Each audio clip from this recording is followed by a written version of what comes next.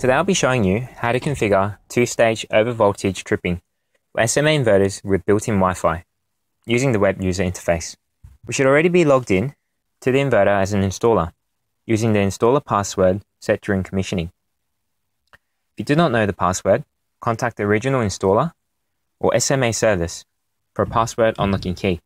Once you have logged in to the web user interface, navigate to the top right menu and under User Settings, select SMA Grid GridGuard Login. Here we want to enter your personal grid GridGuard code.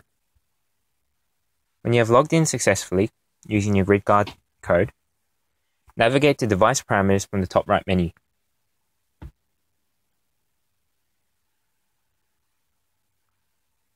Now select Editing Parameters on the left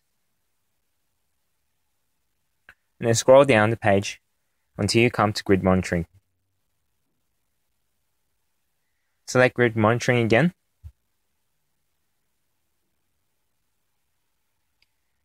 And then country standard. Now scroll down to voltage monitoring.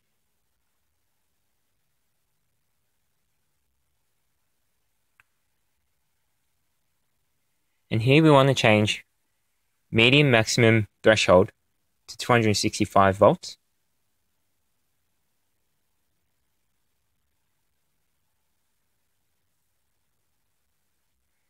And then medium maximum threshold tripping time to 200 milliseconds.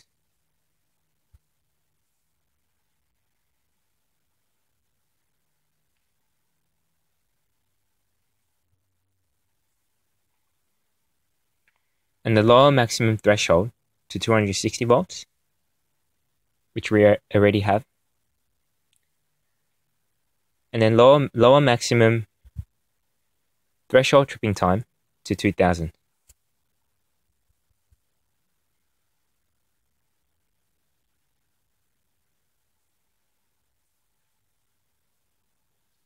Once you have changed these values, scroll back up to the top